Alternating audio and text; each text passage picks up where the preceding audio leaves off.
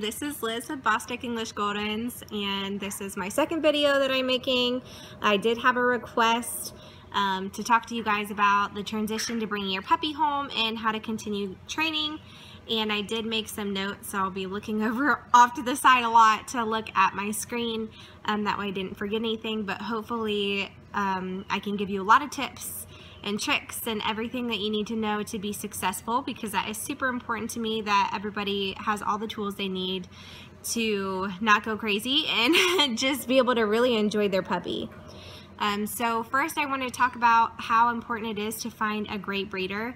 Um, not only a breeder that does their appropriate health testing so you can ensure that you're getting a healthy puppy, um, but it's also really important to find a breeder that takes the time to really focus on their puppies um, to make sure that they're doing everything that they can to make sure they have a successful start.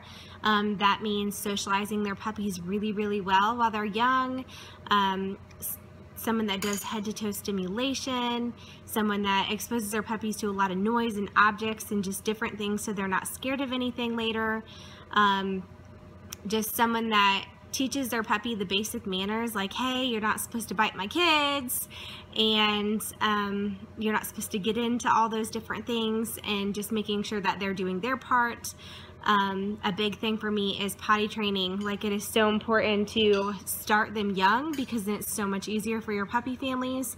And potty training can be hard if you're not starting it young and they don't know what they're doing then it takes a lot longer when they're older and people don't like potty training. So it is just really convenient um, to start when they're young. Typically when they leave at, at eight weeks, they're about 97% potty trained. I always tell people the rest of it is just you doing what I say, um, following our potty training protocol, and you're gonna be set up for success. Um, all right, the next part about choosing a great breeder is finding a breeder that's going to be there for you for a lifetime, one that is able to answer all of your questions day or night, um, that are not going to just be like, here's your puppy and good luck, and then you never talk to them ever again. Um, you definitely want to have a great connection with your breeder because they're going to give you a lot of great tools. I mean, we have um, we have five dogs personally, and um, I spend a lot of time training them and making sure that they are respectful dogs, um, especially to our children. And so I do read a lot of training books, so I know that I am I'm getting a lot of material that I can pass on to all of my puppy families to help them as well. Um, and I'm sure a lot of other breeders do that too because we're always learning. So it's really, really important that you find a great breeder that is going to be with you throughout um, their life. Um, you shouldn't have to go to Facebook groups all the time and ask for advice. Um, it is a great tool, it really is, and it's awesome that you can do that, but the first person that you should go to is your breeder. Um, they should have all of that information for you. Um, they should have tested it out on their puppies and their dogs to make sure that it works and then be like, yep, this is how you should do it. Um, and then if you want more tips than that, then, then you go into the breeder groups and then you get that and that's, you know, that's awesome. Um, but your breeder should always be that person that's there and leads and guides you um, into the direction to give your puppy a really great start. All right, we can now get into what to expect. Um, when you bring your puppy home, it's going to go a few different directions solely based off how they were raised and what their personality is like. Um, you may have a curious, very smart puppy that wants to get into absolutely everything.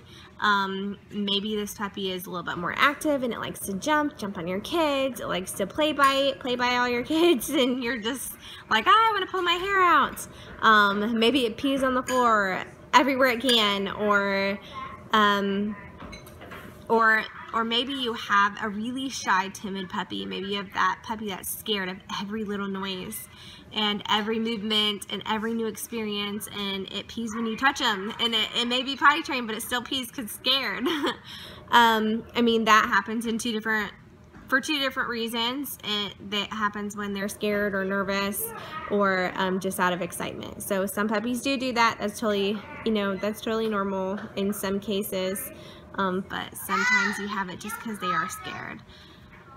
Um, you could also just have ideally perfect puppy. You could have that puppy potty trained right away within a week or two, slept in the crate all night, um, listen when you say leave it, learn new tricks every day, It's a big people pleaser, loves being touched all over the body. I mean, you can play with his mouth, his nose, kiss all over his face, totally okay. Um, each puppy may even have a variety of these qualities, and that is totally okay as well.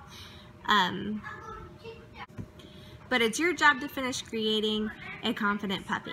Give them a safe environment, continue training. Um, the training is just the beginning and may not be easy and it may be very time consuming, but it's so worth it in the end. Um, once you find an amazing breeder, you choose make sure they give you a list of all the must-haves for successfully raising a puppy. For example, we send an email out um, either the day they pick up their puppy or prior. We try to do it prior because it just helps people be really prepared.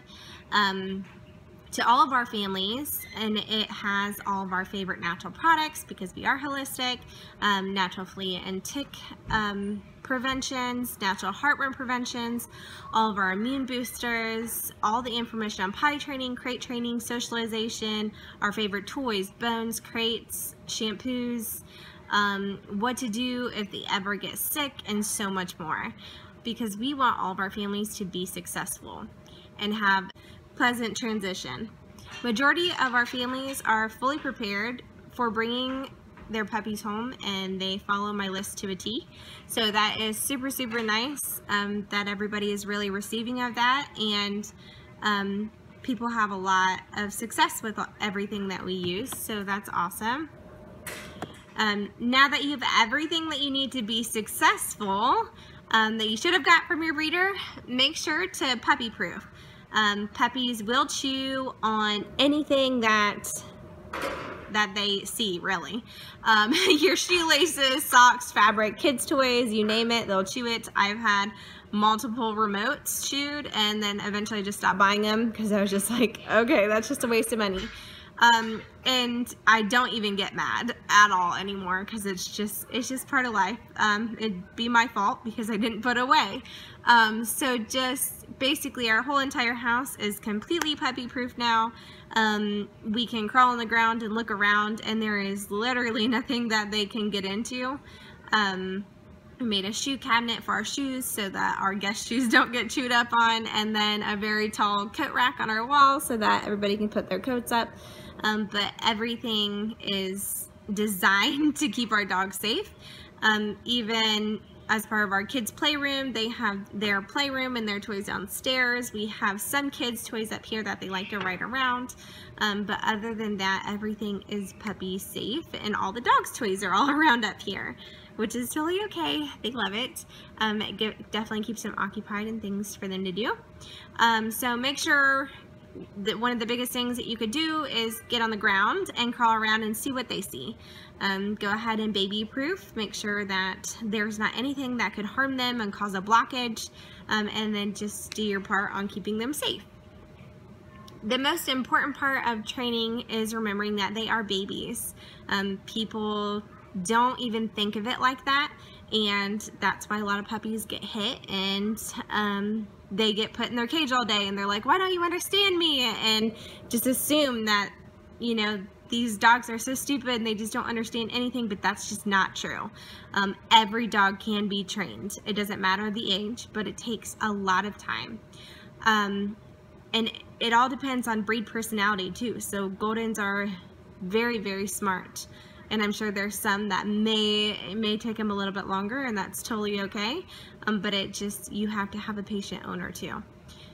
So they are going to learn everything from you and if they fail it is it's your fault. Um, to not even to put it lightly it is your fault. Um, we are supposed to train them just like we are to teach our children um, if our children fail in life, we can be like, what did we do wrong? So it's the same scenario there. Um, just making sure that we're doing our part and training our puppies so that they know what they can and what they cannot do. So you need to have patience, understanding, and get mentally prepared, okay? Second is begin by limiting space. Um, I personally advise everyone to get a leash and attach it to their belt buckle or whatever they can or put around their wrist or their ankle and wherever you go the puppy goes unless they're sleeping. I wouldn't wake them just to take them with you. Um, but wherever you go, the puppy goes, and that way you're monitoring the puppy all the time. Um, you take them out every 15 to 20 minutes and gradually increase that by about five minutes. Um, and then after they eat, after every single meal, um, about 15, 20 minutes, um, after they wake up every morning, um, probably a couple times throughout the night because it's hard for them to hold their bladder that long. And um, just making sure you're doing that. Um, if for some reason you're not doing that and the puppy poops on the floor, you take the puppy out of the room. You never show them cleaning up the poop. Um, you go ahead and clean up their messes very thoroughly. Make sure you get the smell all out. Um, don't punish your puppy at all. Don't show him the poop. Just ignore it. Take him away from it. Take him outside. Um, and then go ahead and get that cleaned up and just move forward. That is the best way to do it. So many people are like, I'm gonna show them that poop, I'm gonna shove their nose in it, I'm gonna teach them that way and then whip their butt, and it just does not work. Trust me on that, it does not work. Um, so just doing, just being consistent, um, take them out when they need to go. If you get a little bell on your door, you can do um, little training bells and then you can put their paw on it like this and then give them a treat and then take them out. Um, have them go to the bathroom give them treats lots of rewards all good job you know you're doing great. Um, a lot of exciting things you can do. Clicker training then. Um, click treat as soon as they are probably finished pooping because you don't want to interrupt their poop um, and just that that is a really great way um, making sure that we're limiting space there. So when you are busy cleaning or doing things and you just can't have the puppy near you um, putting them in an X pen is a great idea. You can put some toys in there and then they can play in their X pen and then just make sure you're continually taking them out. Um, but that is also to keep them safe so that they're not trying to find things to chew on because they're bored and you definitely just want to keep them safe that way. Okay, crate training is great. Um, I totally recommend that you do it. Typically around two, they've kind of graduated out of it and they're like, yeah, I mean, some are like, I love my crate.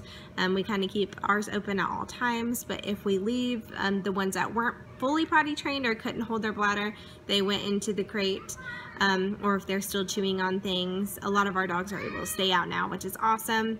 Um, not that I ever leave, but if I ever do leave, um, then they get to be out um, in our living room. And we, like I said, we have puppy proofed everything. So there's really nothing they could get into other than my plants on my, my thing. And we're working on puppy proofing that. So all right, so making sure that your dog is very limited on their space and you gradually increase that with age.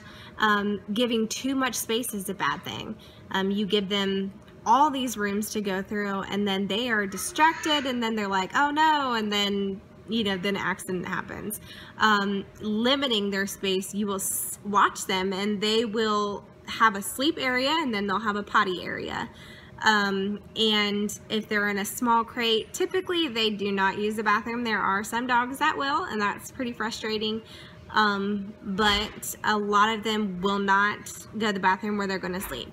Um, so with our puppies, being able to start potty training at four weeks like we do, um, they already know that there is an area for them to go to the bathroom and then there's also an area where they don't go to the bathroom. So they are really smart like that. Um, and so that really helps with their transition but like I said just making sure that you supervise them. You wouldn't just let your little crawling baby do whatever it wanted and not pay attention to it um, because I mean there could be money on the ground or marbles and they eat them and then you know. So it's just keeping them keeping them safe and confined in an area when you can't supervise them and you will see how much quicker they're going to be trained because of that alone.